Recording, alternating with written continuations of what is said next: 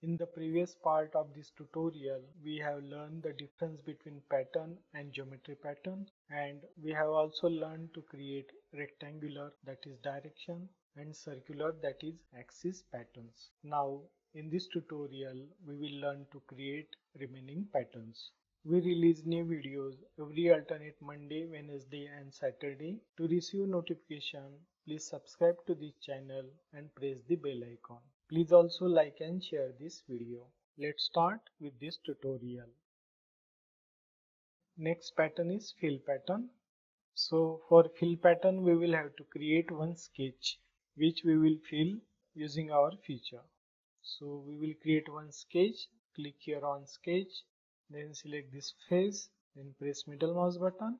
Then I will create sketch using line command, click here on line and suppose I will include this feature inside that sketch. You can keep this feature outside also. So I just want to include it in the pattern. So I will create one sketch. Then press middle mouse button. Again press middle mouse button. Then right press ok. So here this sketch is created. Then I will just reduce the diameter of this circle. So just click here on this cylinder click here on edit dimensions and double click here and make it 20 enter. Then click here on regenerate. So here a small hole is created. Then select this extrude 2 I will create geometry pattern. So click here click on geometry pattern.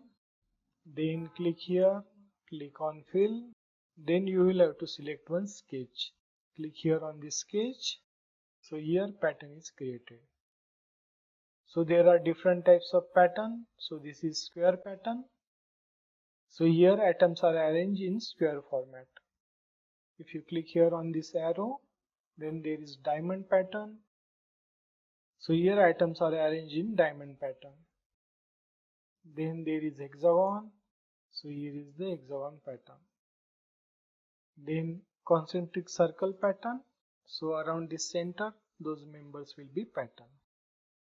So there are different patterns. Suppose we will see what are the parameters. So i will just again click here on square pattern.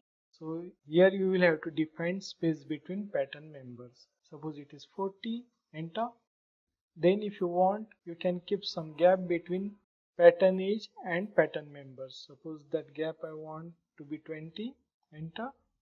So here that gap has been kept everywhere from this sketch. Then if you want you can specify angle for the pattern suppose it is 20 degree enter. So here members are arranged in 20 degree angle. Then if you click here on OK that particular pattern will be created. So here that fill pattern is created. Again click here and edit definition. Then next is diamond so parameters are same as per square pattern then hexagon pattern again same parameter. Then if you go for concentric circle pattern so here one more atom is added. So first is gap between atoms. So that will be gap between these individual atoms.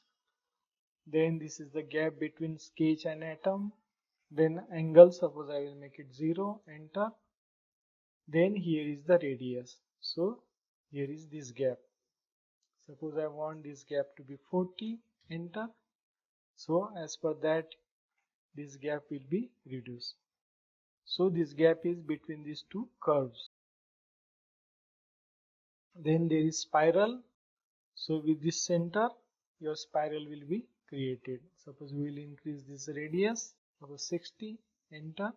So here you will see that that spiral will be created in this way then last is sketched curve. So it will place the atom on the curve. Click on ok. So here that pattern is created. So this is a fill pattern. So again we will edit it. Then next is table pattern. Okay we just cancel it and delete it. Right click delete. Okay then we will create table pattern now we will edit the dimension of this circle and we will see how its position has been given.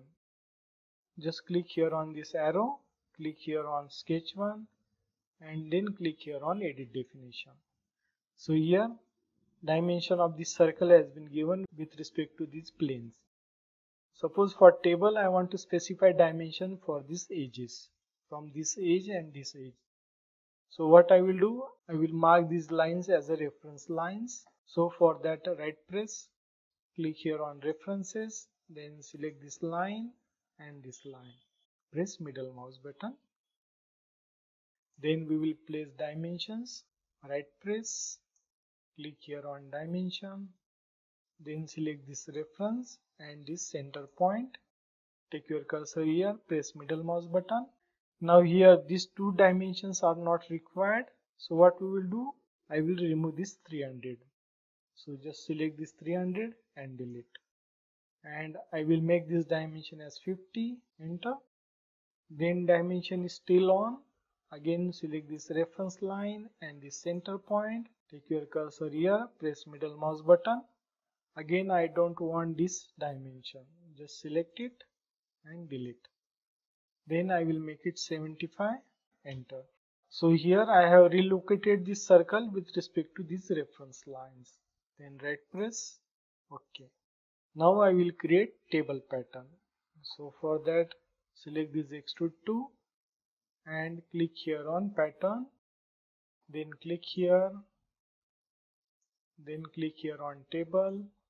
Then for table you will have to select dimensions so here select dimensions to add to the pattern table.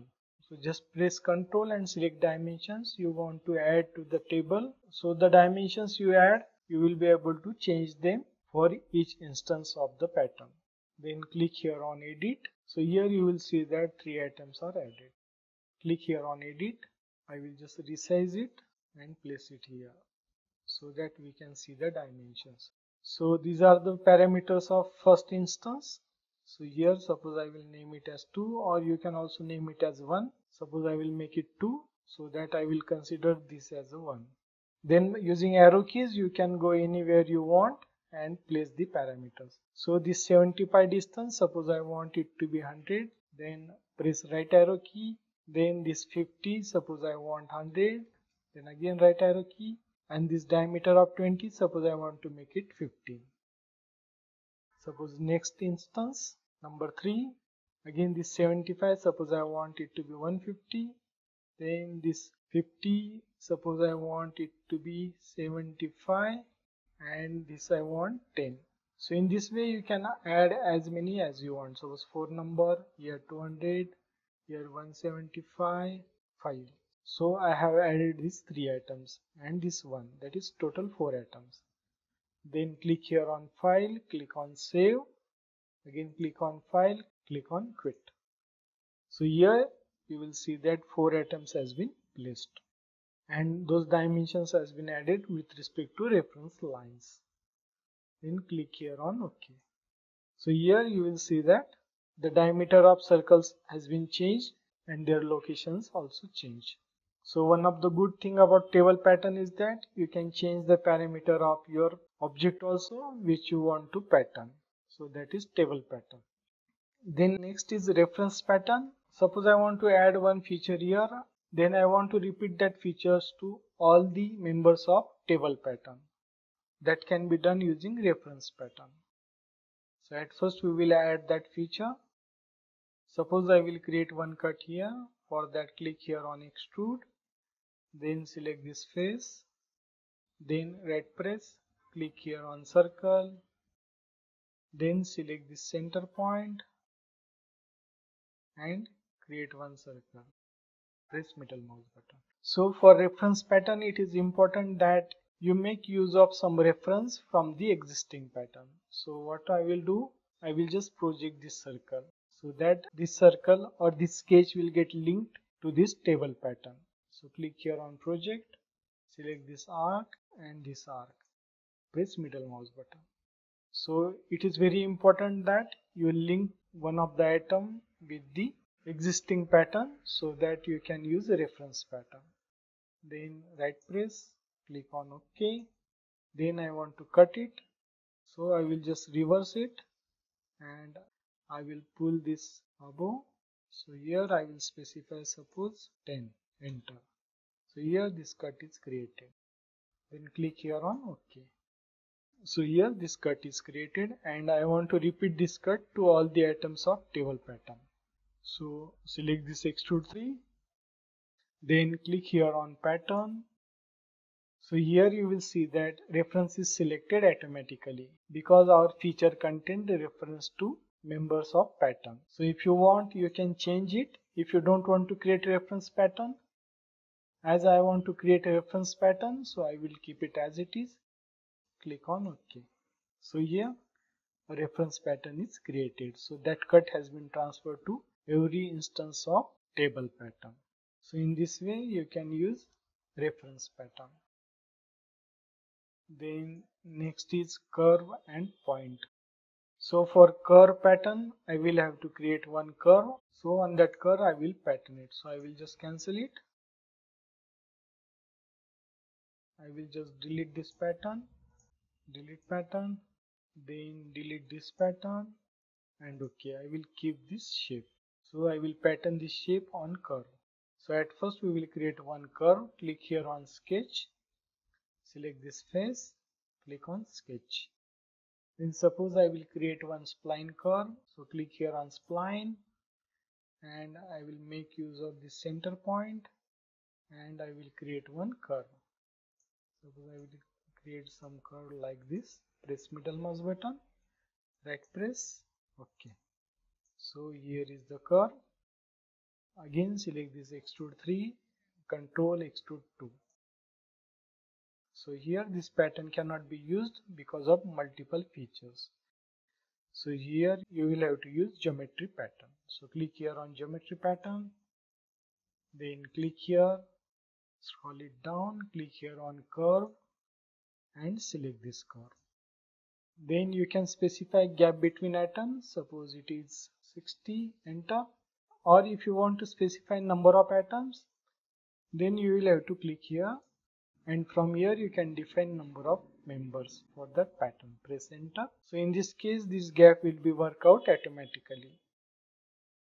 And if you specify the gap number of atoms will be worked out automatically.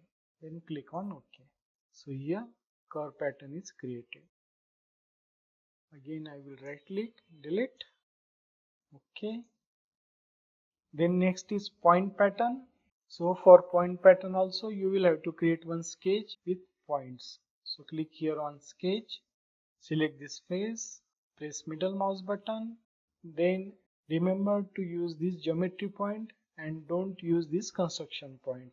If you use this construction point, it will not create pattern. So click here on geometry point from datum section. So click here on point and you can click points anywhere you want.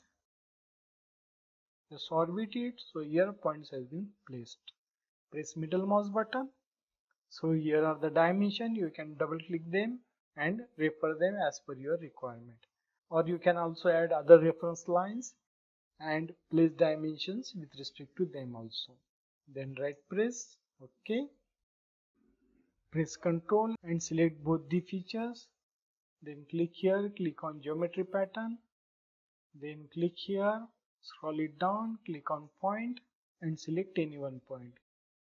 Click on OK. So in this way you can use pattern feature from Creo. So in the next tutorial we will create some objects based on what we learn in this tutorial. Please like, share and subscribe. Thanks for watching. We will again meet in next tutorial.